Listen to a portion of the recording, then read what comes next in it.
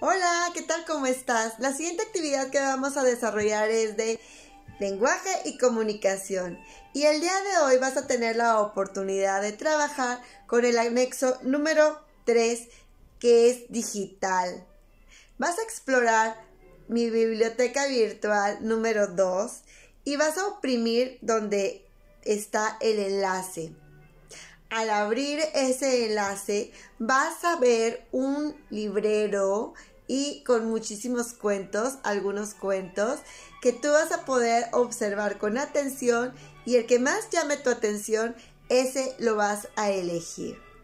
Una vez que explores y elijas el cuento de mi biblioteca virtual, vas a dibujar en tu libreta o escribir el nombre del cuento, el personaje favorito y el final del cuento. Mira, te voy a mostrar la biblioteca virtual, cuál es, para que la puedas ir reconociendo. Es esta, ¿sí? A la cual le vas a dar clic y una vez que ya se abra el enlace, vas a tener la oportunidad de elegir un cuento, el que sea, el que más te llame la atención. Por decir, yo voy a elegir abrir el cuento Vamos a abrir este. Dice, se llama David se mete en líos, David mira. se mete en líos. ¿Puedes verlo?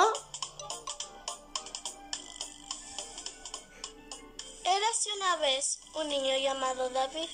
¿Qué tal? Tú vas a poder escuchar con atención el contenido y el desarrollo de, esta, de este cuento que, que estás eligiendo.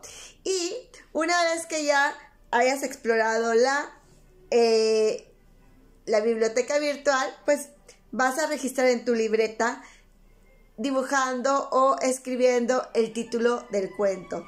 El vas a dibujar al personaje principal y el final del cuento. Así que en lenguaje comunicación date la oportunidad de explorar esta literatura, estos cuentos y envíame tu evidencia. Hay muchísimos más. Puedes ver la información, los cuentos que tú más prefieras, pero solo vas a elegir uno como evidencia.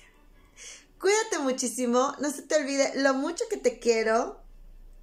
Te envío todo mi cariño y muchos besitos. Nos vemos en la siguiente actividad.